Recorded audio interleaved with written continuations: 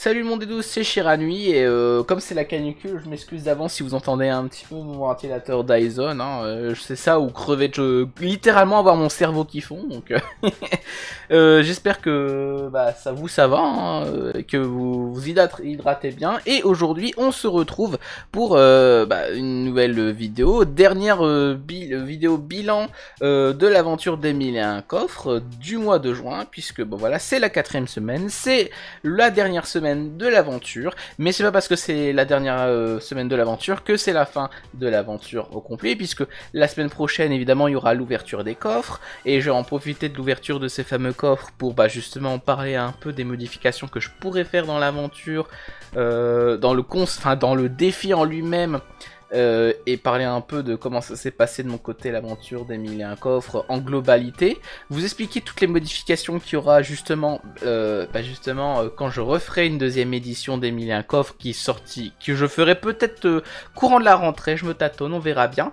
Et on ouvrira les coffres bien évidemment et tout ça en totale détente et vous aurez ma réaction à chaud des ouvertures de coffres en même temps. Donc ça risque d'être une vidéo peut-être un peu longue la semaine prochaine, mais euh, j'espère que vous serez en rendez-vous. Mais bon, là, on n'est pas là pour parler de la semaine prochaine, on est surtout là pour faire le bilan de cette dernière semaine d'aventure. Et autant vous dire par contre que cette semaine, j'ai, euh, comme la semaine dernière, pas fait grand chose, mais euh, pour le coup j'avais beaucoup de choses à faire de mon côté et du coup en fait je me suis laissé le temps de lundi, mardi, euh, et samedi dernier pour pouvoir faire le maximum de trucs avant de ranger les stuffs et puis faire euh, bah, ce que j'avais à faire euh, de mon côté le plus, simplement possible, être tranquille. Et évidemment, si l'aventure t'a plu, que tu veux pas rater les prochaines vidéos, et eh ben évidemment, n'oublie pas de commenter, partager, liker et à t'abonner, ça me ferait aussi super plaisir. By the way, on va commencer par parler du vif du sujet à la fin à savoir la fin euh, de la complétion de, euh, la tranche niveau 126 à 140. Du coup, petit rappel là où on était euh, ben, justement la semaine dernière, j'avais commencé à faire pas mal de donjons 140 en S4, notamment la domaine de la Trouve Salée, le Jardin de la Wen, le Palais de l'Énal, de très très bon matin. Et euh, bah du coup le jour où j'ai enregistré, je disais donc euh, enfin pour la semaine 3, je disais qu'il me restait du coup à compléter le mou, le pot-au-feu et le noir sport, sachant que je vais pas faire à l'heure parce que bon bah c'est un donjon 3 joueurs et que j'ai pas très très envie de m'attarder sur les donjons 3 joueurs. Et surtout de modifier le stuff de mon Zobal pour le réaliser parce que j'avais prévu à la base un stuff particulier pour le Zobal, pour le passer, mais je me suis dit, oh la flemme de tout changer. Et donc, du coup, bon, j'ai dit, on, c'est pas grave, on fera pas de, de d'empaleur et on va se contenter au moins de terminer la tranche en faisant le pot-au-feu, le Shenmue et le Noir Sport. Alors du coup, le vendredi qui a suivi, parce que oui j'ai tourné la semaine 3 un jeudi, donc euh, le 21 e jour c'était la fête de la musique, j'avais totalement oublié, bon bah c'est... L'avantage c'est que bon moi je vis pas en vie, donc euh, j'avais personne pour me déranger avec de la musique, même si bon euh, ça prouve que ma vie est un peu triste finalement, de pas profiter de la fête de la musique et de complètement oublier que cette fête existe. Mais by the way, j'ai quand même réussi à passer d'abord le petit pot-au-feu et le domaine à en stade histoire. Alors le pot-au-feu, je sais pas donjon que je je qualifierais de sympathique, il est pas très très facile à faire. Par contre, le boss avec Lugina qui pouvait rester collé dessus, il résistait, c'était n'importe quoi, c'était très très drôle. Par contre, les autres mobs, bon bah c'est toujours assez chiant hein, de gérer les autres mobs, évidemment. Euh, surtout, euh, surtout le, truc là, le, l'épi de maïs avec Macra qui faisait euh, du zoning feu. Ouh là là, le, le, le qui était tout le temps à deux doigts de la mort quand il voulait faire sa balise plus flèche explosive, flèche explosive. C'était, c'était, une expérience à vivre, je dirais finalement. Et puis après, bon bah évidemment, j'ai enchaîné avec le domaine Adracnid en S3, en S3. Euh, c'est pas un donjon qui est super dur, surtout avec Lugina qui peut taper sous l'armure euh, dans les deux premières salles, ce qui est très très utile pour se débarrasser très rapidement des abracnides parce que voilà avec le poison on passe sous l'armure et les abracnides se régénèrent de l'armure à chaque début de tour. Par contre c'est vrai que c'est un petit peu plus enquiquinant quand il faut pas taper le boss mais juste taper l'armure du boss. Alors heureusement avec Lugina j'ai un moyen de de comment dire de sucrer un peu de l'armure euh, de la branche terre mais en fait je vais faire hyper attention avec Luginac de pas faire d'avoir pas avoir la mésaventure de bah, justement mettre du poison sur le boss parce qu'il faut pas tuer le boss. Et euh, finalement en fait la majeure partie du don du boss je l'ai passé avec la cra qui, qui spammait euh, les parties touchées de, de, par le la malédiction par du Shenmue et euh, après bon bah, euh, si Luginac pouvait finir il le finissait quand il pouvait mais jamais il allait plus loin qu'un retrait de d'état maudit sur le, le pauvre Shenmue finalement donc je l'ai passé facilement en S3 et ensuite, bon bah j'ai tenté de faire un noir sport. Le souci c'est que je déteste de base noir sport. J'avais oublié euh, pourquoi je détestais noir sport.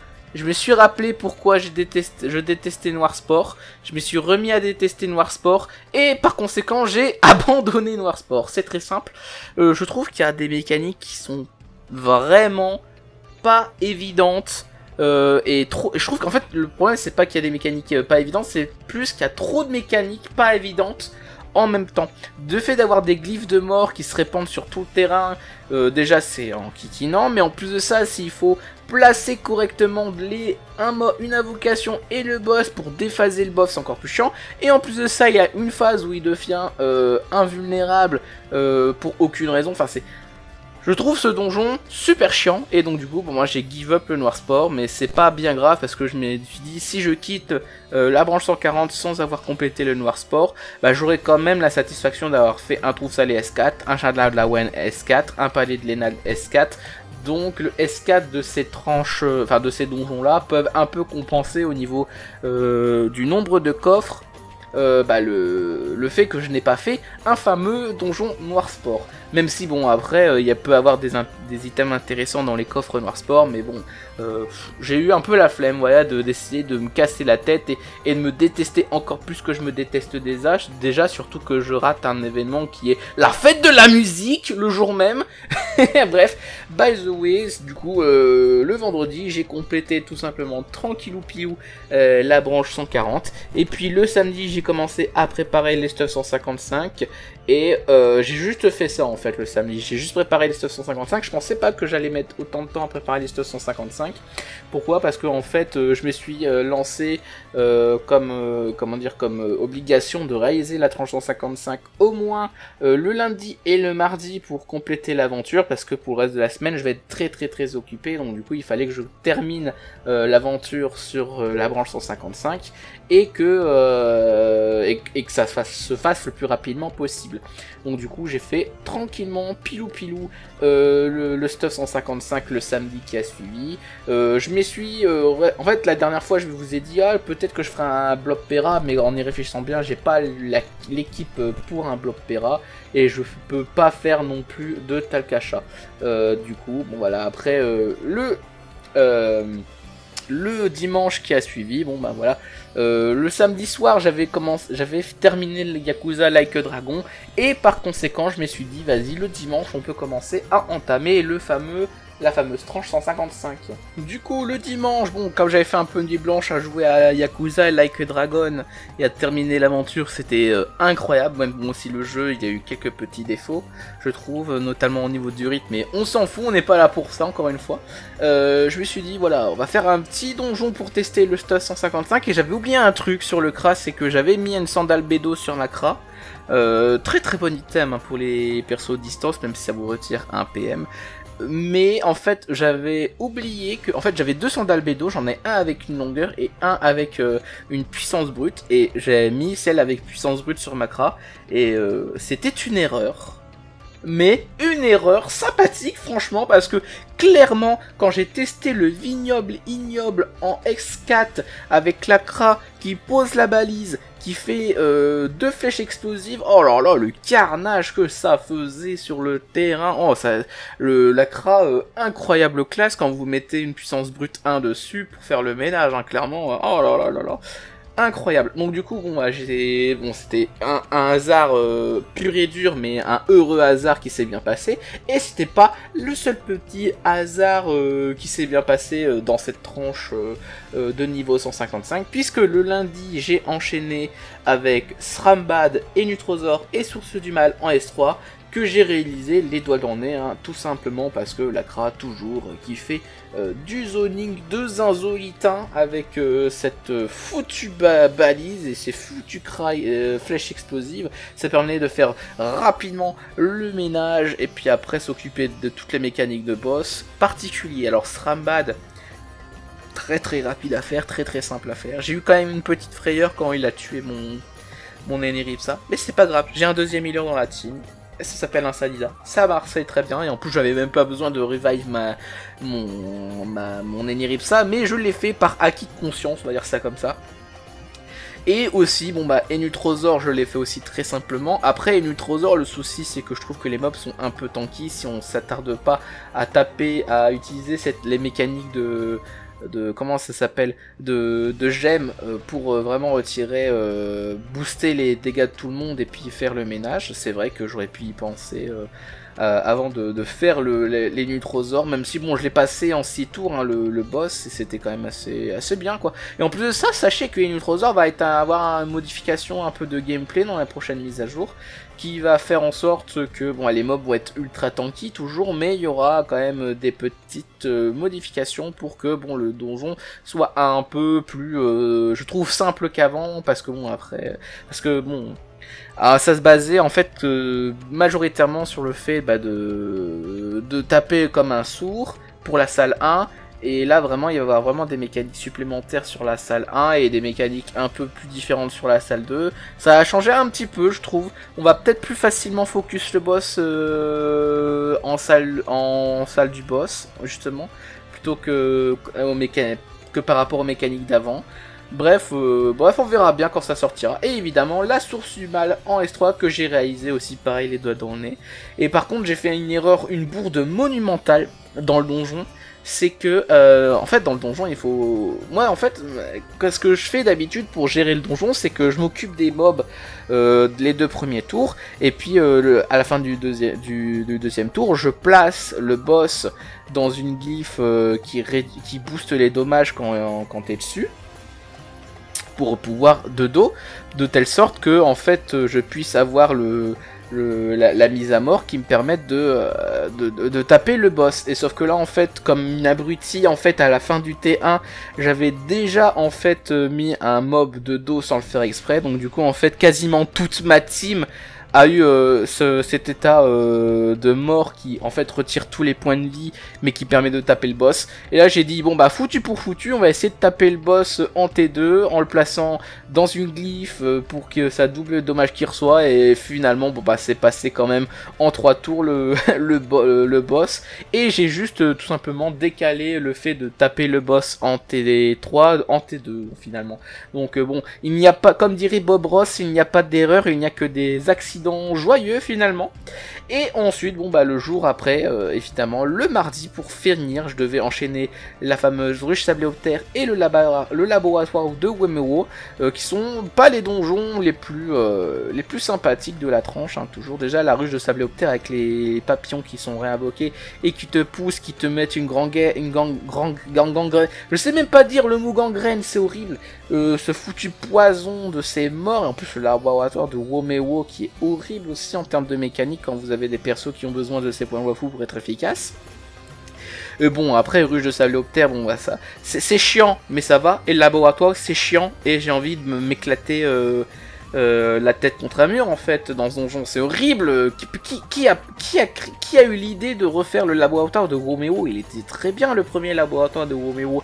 Était peut-être un peu facile, mais mais, il était pas aussi chiant, tu vois, je trouve. Mais by the way, bon, je l'ai quand même passé la rue de Sabléoptère en Stasis 3. Et euh, le laboratoire de Romeo, je l'ai aussi fait en Stasis 3, mais euh, sans, pas sans douleur, quoi. Disons que j'ai mis un peu plus de temps qu'avec ma team habituelle pour le passer. Et, euh, et euh, bah, c'était bien chiant finalement, c'était très bien chiant, mais au moins je l'ai quand même passé Stasis 3, j'ai pas abandonné comme, euh, j'ai pas trop comme bah, le, le, Noir Sport, ça c'est déjà ça. Et euh, bon, évidemment, comme je disais, euh, je pouvais pas faire le bloc Pera, je me sentais pas capable avec la team que j'ai actuellement de le faire, et en plus de ça, je n'ai pas fait euh, le Talcacha parce que je pense qu'avec la team que j'ai, bon, je peux pas le faire, en plus de ça, j'ai pas énormément de clés pour essayer de faire des trails, et bon, vu le prix des clés, j'ai pas envie, voilà, de gaspiller des centaines de milliers de kamas dans des trails pas réussis. Et aussi, bon, évidemment, j'ai pas fait le château du roi, j'aurais pu le faire, mais bon, voilà, je me suis dit, oh, tant pis, j'ai pas envie de faire un donjon 3 joueurs. Euh, et par conséquent, bon bah c'est tout ça qui a complété la branche 155 et la fin de mon aventure de manière officielle. Du coup, c'est euh, comme c'est la fin de l'aventure, je me suis dit que ça serait très amusant en fait de vous cacher le nombre de coffres et le nombre de complétions pour cette dernière vidéo euh, bilan euh, de la semaine euh, de l'aventure d'Emilien Coffre. Mais justement, on va en parler plus en détail justement de ce score et je vais vous révéler le score final finalement de, toute cette aventure de ce mois-ci. La semaine prochaine, la vidéo, en fait je vais tourner ça lundi prochain et ça sortira du coup le mardi qui suit. Et euh, en fait, dans cette vidéo, je vais expliquer un peu toutes les modifications que je compte apporter dans les prochains, euh, comment dire, les prochaines versions de l'aventure d'Emilien Koff, parce que j'ai déjà, alors je vous spoil un peu, hein, vite fait, mais j'ai déjà une idée euh, de petites, comment dire, cartes pièges à activer pour essayer de pimenter un peu l'aventure. Alors là, c'est un premier jet, mais j'en parlerai peut-être un petit peu plus mardi prochain.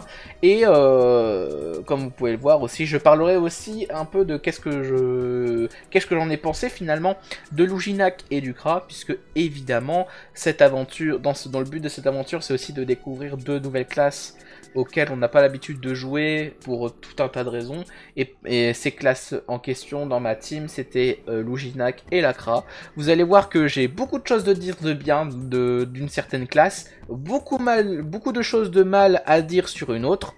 Euh, de qui de qui je parle, bon bah c'est à vous de deviner et vous aurez la réponse bah du coup mardi prochain. Mais en globalité, mon point de vue sur tout ce qui s'est passé, c'était très très fun à faire. J'ai beau pris euh, pas mal de... En fait, ça m'a un peu vidé aussi de, faire ce petit truc, de faire de, du modulé, euh, tranquillou pilou, de dire un peu comment ça se passe mon avancée. Et en plus de ça, dans mon avancée, ça, a été aussi le témoin de mon mood actuel. Donc en fait, faire l'aventure d'Emilien Koff, ça a été plus que faire du modulé, ça a été bah, de, s'ouvrir à vous d'une manière un peu différente et euh, comme si c'était un journal intime, mais un journal intime un peu interactif. Oh putain, c'est beau ce que je suis en train de dire là, putain.